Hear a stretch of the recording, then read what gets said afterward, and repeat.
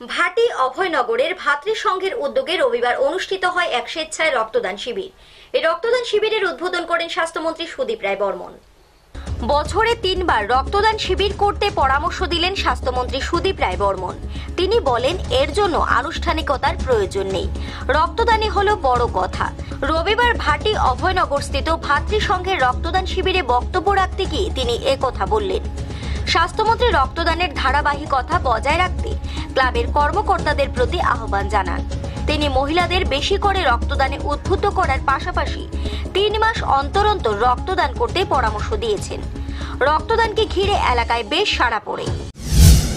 ঠিক চার মাস বাদে এপ্রিল মাসের প্রথম সপ্তাহে এত বড় প্যান্ডেল, মাইক লাগানোর কোনো প্রয়োজনীয়তা নেই। আমাদেরকে ডেকে আনার কোনো মানে নেই, টাকা খরচা করার কোনো প্রশ্ন নেই।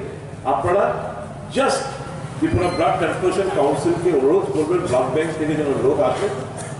এসে যে কোনো একটা জায়গায় আপনারা জাস্ট কয়েকটা বেড আপনাদের বন্দোবস্ত করবেন এবং রক্তদান। মূল উদ্দেশ্য হচ্ছে প্রচারে নিয়ে যাওয়া না। মূল হচ্ছে কাকে নিয়ে আসেন সেটা বড় কথা না। মূল উদ্দেশ্য হচ্ছে রক্তদান আমাদের করতে হবে। আগরতলা প্রতিনিধি রিপোর্ট, নিউজ বাংলা।